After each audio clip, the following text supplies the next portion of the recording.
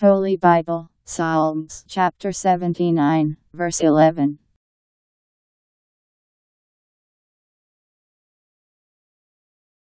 Let the cry of the prisoner come before you, with your strong arm make free the children of death.